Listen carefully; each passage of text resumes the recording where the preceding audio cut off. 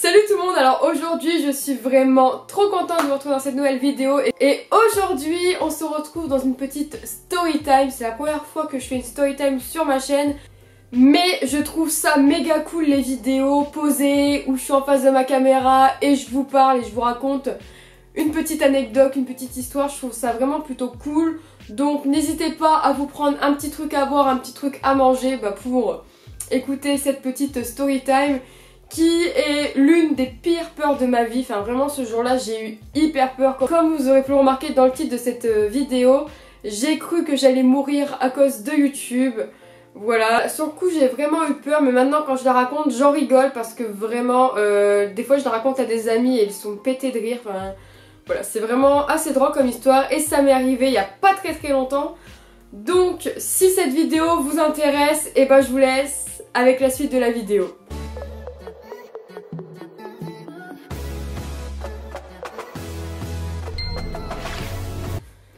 Avant de commencer cette vidéo, n'hésitez pas à me suivre sur mon compte Instagram parce que je suis très active sur Instagram et ça me ferait juste trop plaisir que vous soyez plus nombreux à me suivre sur Instagram.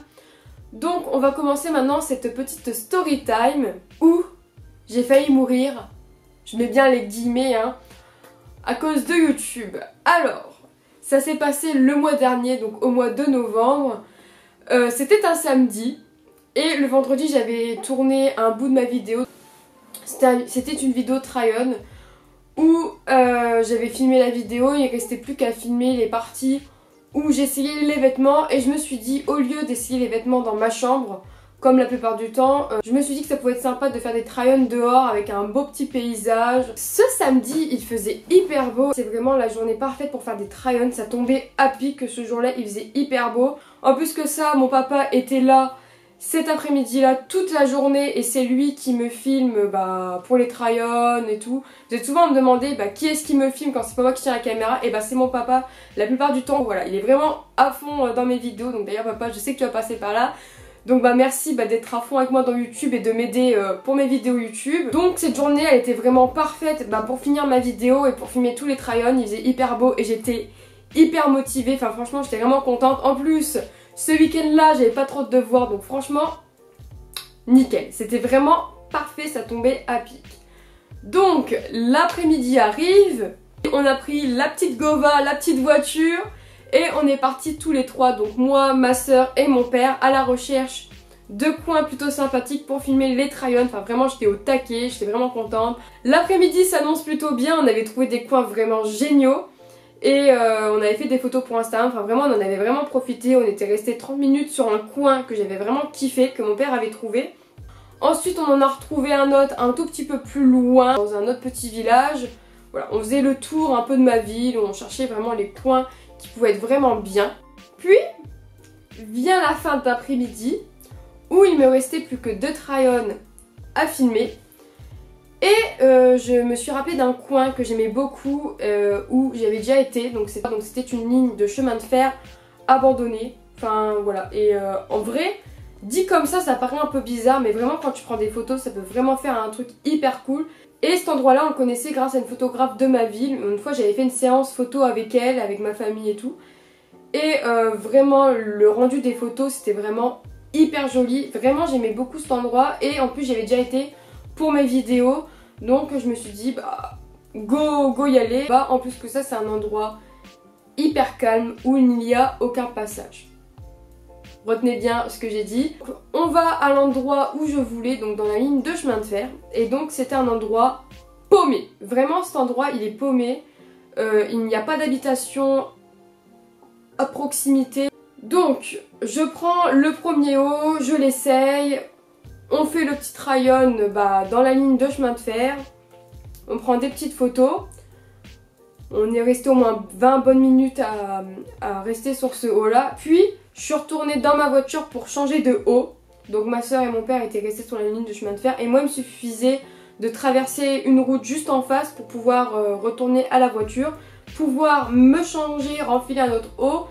Et ensuite bah, pouvoir retourner à la ligne de chemin de fer voilà, avec la petite cabine du pauvre. On fait avec les moyens du bord. Puis je vais les rejoindre et on finit ce try-on. On filmait la vidéo et tout tranquille, pépère. quand d'un seul coup j'entendais des cris d'un homme. Voilà, les cris d'un homme, euh, j'entendais pas trop ce qu'il criait, mais j'y prête pas trop attention. Enfin, je me dis, euh, il y a des bois à côté, un peu plus loin, c'est sûrement des chasseurs ou des gens qui font je sais pas quoi. Plus le gars criait, plus les cris étaient proches de nous. En fait, on sentait que la personne criait, et plus elle criait, plus, plus la personne s'approchait de nous. Et en fait, la personne, elle criait au Wow Wow Wow Des cris comme ça, genre vraiment des cris euh, virils. On comprenait qu'en fait, les cris étaient destinés à nous, en gros, que la personne nous criait après. Pourquoi? Je ne savais pas. Et mon père trouve la bonne idée de hurler à son tour et de dire Qu'est-ce qu'il y a? T'as un problème? Et le gars aussitôt répond Qu'est-ce que tu fous? Mais vraiment en hurlant, mais vous imaginez même pas comment il hurlait, franchement, la façon qu'il hurlait, ça me refroidissait le sang, enfin franchement, il faisait, ça faisait hyper flipper, sachant que t'entendais le gars crier, mais que tu ne le voyais pas. Vraiment, le gars, je cherchais partout dans les environs, j'entendais juste ses cris, mais lui, je ne le voyais pas. Donc du coup, mon père, bah, lui dit euh, je prends des photos. Euh, et il fait des photos de quoi?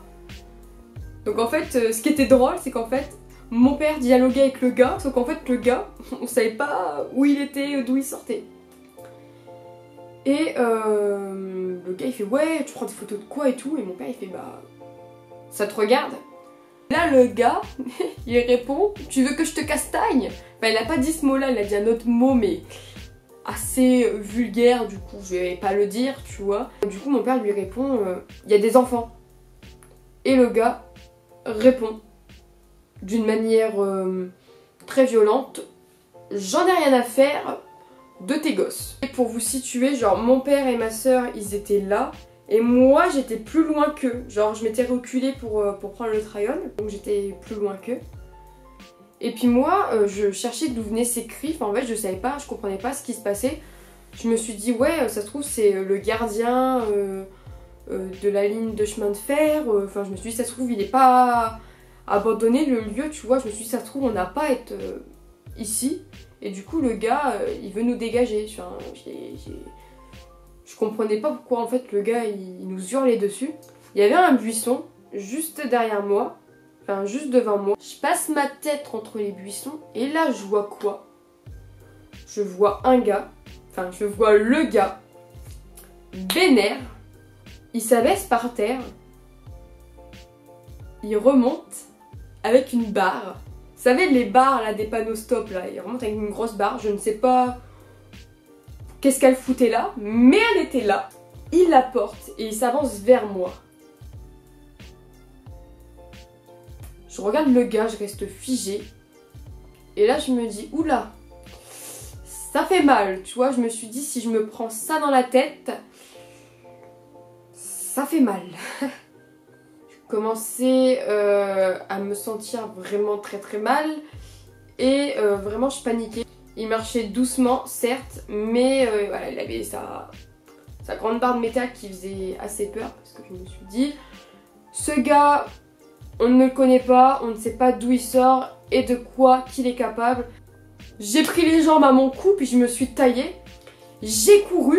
Vraiment, c'est la première fois que je courais aussi vite et que j'hurlais aussi vite. Vraiment, mais j'ai poussé des cris mais abominables. J'avais hyper peur.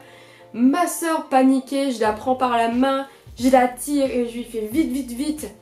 On s'en va dans la voiture. Je cours, je cours, je cours, je cours. Je traverse la route qui séparait la ligne de chemin de fer à notre voiture sans même regarder alors que certes c'est un, endroit, il n'y a pas beaucoup de passages mais il aurait suffi qu'une voiture passe à ce moment-là et j'aurais pu très bien me faire écraser. Donc là on monte dans la voiture. Et là je souffle. Contente d'avoir couru aussi vite et d'être sain et sauf. Et là je regarde à côté de moi J'étais assise devant, côté passager. Je regarde à la place du conducteur et je vois pas mon père. Je regarde ma soeur et je lui fais mais il est parti où papa? On regarde par la fenêtre. Et de là où on était, on voyait le côté de la ligne de chemin de fer et on voyait tout ce qui se passait. Je regarde et là il y a mon père les bras croisés qui attend le gars. Alors là, t'as le gars qui commençait à courir avec sa grosse barre en métal. Moi et ma soeur, on se mettait à hurler, on se serait vraiment cru dans un film d'horreur. Là où tu vois le gars, euh, enfin le gars innocent et là où tu vois euh, le méchant dans le film d'horreur euh, qui veut taper l'autre, tu sais, enfin bref, on un film d'horreur. Et ma soeur a commencé à pleurer et moi je savais vraiment pas quoi faire. J'étais comme ça, je fais qu'est-ce que je fais? J'appelle la police, j'appelle pas la police, j'appelle la police, j'appelle pas la police. Parce que du coup, j'avais vraiment peur. Mais je me disais, ça se trouve, j'ai peur pour rien. Ça se trouve, euh, il va rien se passer. Du coup, je décide quand même d'appeler, pas la police, mais j'appelle ma mère, tout simplement. Donc ma mère, elle était toute paniquée, elle avait la voix qui tremblait, ainsi que ma grand-mère, voilà, c'était tous les deux au téléphone, elles essayaient de nous rassurer. Puis euh, on hurlait, on hurlait, on hurlait, on hurlait. Quand d'un seul coup, on voit notre père traverser la route, arriver, remonter dans la voiture, sain et sauf. Aucune égratignure, rien du tout. Et là, mon père, il me fait Les filles, vous vous êtes fait peur, vous vous êtes inquiétées pour rien. Donc du coup, il nous a expliqué la discussion qu'il avait eue avec le monsieur quand il était en face à face et quand il faisait ça à chaque fois. Donc en gros, euh, ce monsieur n'était pas fou, il n'était pas méchant, il a eu peur lui aussi. Alors en fait, il y a eu un gros gros gros malentendu dans cette histoire. Alors ce monsieur s'est senti euh, menacé car euh, il habitait dans une caravane derrière la ligne de chemin de fer, mais vraiment bien derrière. Même nous, on l'avait pas vu. J'étais vraiment pas au courant qu'il y avait des gens du voyage qui s'étaient installés là-bas. Quand je dis gens du voyage, bien évidemment, euh, voilà, j'ai rien contre les gens du voyage. Ils se promenaient enfin dehors devant la ligne de chemin de fer et il avait entendu des euh, clics-clics de photos et euh, ces bruits l'ont inquiété et c'est là qu'il nous a vus tous les trois et qu'il a cru qu'on prenait des photos de sa caravane. En fait, il a cru que mon père était un journaliste ou je ne sais quoi. Et du coup, bah, quand ce monsieur euh, a expliqué ça à mon père, mon père lui a dit qu'en fait, bah, c'était pas du tout un journaliste, qu'en fait, il prenait euh, des vidéos, des photos de moi et ma soeur. Donc au début, le gars le croyait pas, il pensait que mon père euh, mentait. Donc du coup, mon père lui a montré les vidéos et les photos qu'on avait fait. en gros, il a montré en mode, bah, tu vois, il y a, a rien à craindre, c'est pas ta caravane que je prends en photo c'est mes filles. En plus que ça, dans les vidéos et les photos, on ne voit absolument pas ta caravane. Donc du coup, le gars s'est excusé d'avoir été aussi violent et de nous avoir fait peur. Il pensait vraiment euh, qu'on était là pour prendre sa caravane en photo et que voilà, il se sentait vraiment menacé. Donc euh, voilà, il s'est excusé, mon père s'est excusé de l'avoir dérangé. Lui a eu peur de nous, enfin il a eu peur que mon père soit journaliste quand il nous a menacés, nous, on comprenait pas du tout bah, ce qu'il avait, mais en fait, bah, il a cru qu'on prenait ses caravanes en photo.